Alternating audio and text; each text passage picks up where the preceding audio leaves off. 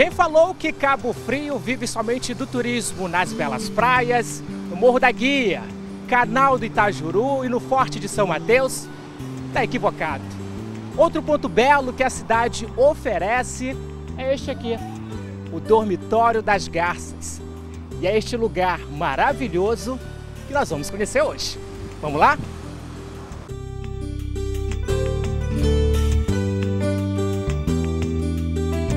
Quem nos recebe no espaço é a bióloga Luísa Reit. Ela vai nos guiar e também falar sobre as espécies que habitam neste lugar. Logo de início, o caranguejo e os peixes são avistados. A prova que o lugar recebe diversas espécies. Biologicamente, a área tem grande importância para a sociedade cabofriense e para a natureza.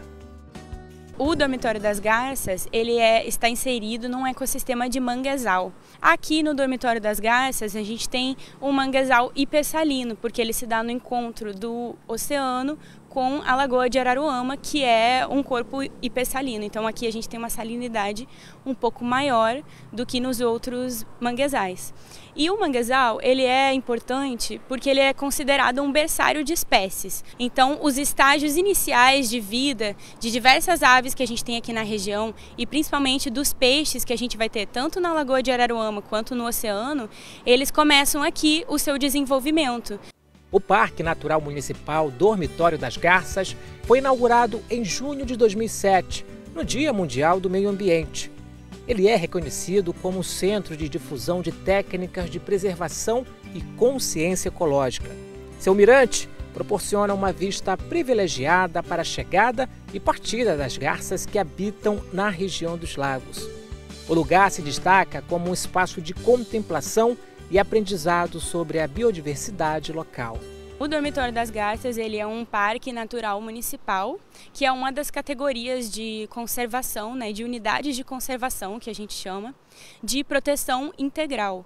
Então, uma unidade de conservação de proteção integral é aquela onde a prioridade vai ser a conservação das espécies que estão ali. Então a gente não vai poder ter nenhum tipo de exploração aqui dentro de espécimes vegetais, nem de caça, nem de pesca, porque a prioridade realmente é que essas espécies sejam conservadas integralmente. Também não podemos ter nenhum tipo de construção, de moradias.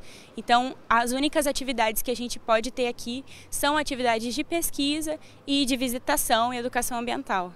O local de vegetação também possui várias trilhas, onde é possível se refugiar nas sombras, ouvindo o barulho da fauna.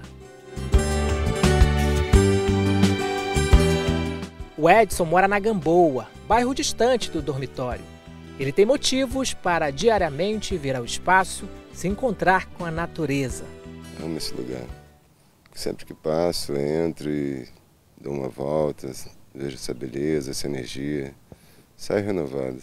O dormitório das Garças possui uma área com cerca de 215 mil metros quadrados e conta com uma população de 1.400 garças brancas, colhereiros e mais 39 espécies.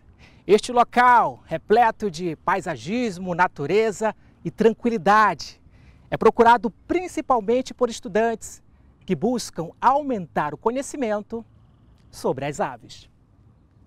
É um local bem procurado. A gente tem pelo menos é, uma vez no mês, geralmente tem mais. Esse mês a gente já teve duas visitas aqui e o mês é recém começou, né?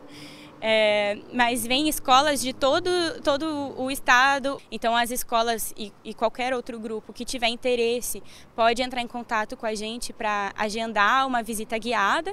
Mas o parque também está aberto todos os dias para fazer visitação livre também. No local encontramos a garça azul. Ela é uma ave que geralmente fica nos manguezais, ao contrário da garça branca, que tem uma distribuição mais ampla pela zona costeira, sendo muito avistada nas praias também. A garça azul é mais reservada e o manguezal é o único local reconhecido no Brasil como área de reprodução dela. Ela se alimenta de ciris, caranguejos e pequenos peixes. Natureza linda linda e completa, né? Você tem um contato com a, as árvores, com a água, com o branco das conchas. É, é rico, se você olhar aqui, é rico em conchas, né? Fora fora. É muito bom.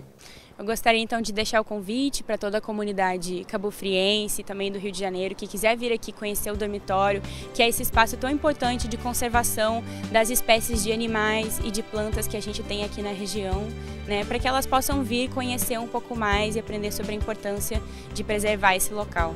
Viva a natureza! Viva a natureza!